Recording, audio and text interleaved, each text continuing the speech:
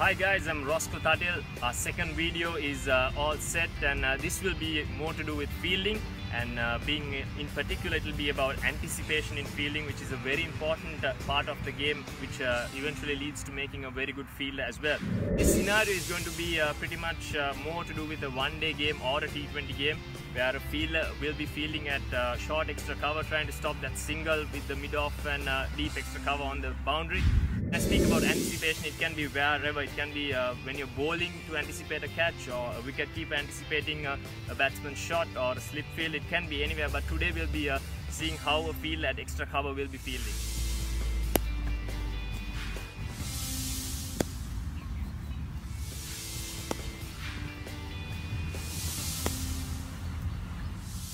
If you look at that video, the most important thing for me there was uh, to pick up the length. Once the ball was short, I knew uh, the batsman will be looking to go towards uh, deep extra cover, which is on my left side. So I, I would walk up to the batsman and my first movement would be uh, towards my left and I would keep moving uh, to anticipate where the ball would arrive. Similarly, the second uh, move was uh, to move to, towards my right side, which is uh, towards mid-off. So the batsman, once the ball is full, once again the key there was uh, picking up length. Once the ball is full, I walk towards the batsman and when I see the ball full, I start moving towards my right as the batsman looks to drive. So uh, like I said, in this part, the most important thing is anticipation and picking up the length. Anticipation in cricket may not always go right. Uh, the chances are it uh, should work 80 to 85% of the time.